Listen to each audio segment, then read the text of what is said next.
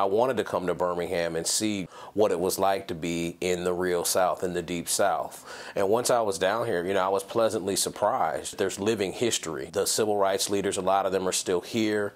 A lot of the buildings and places where incidents happened are still around. So they serve as reminders about what happened today such that we can appreciate the things that people struggled for so that we're able to be where we are today.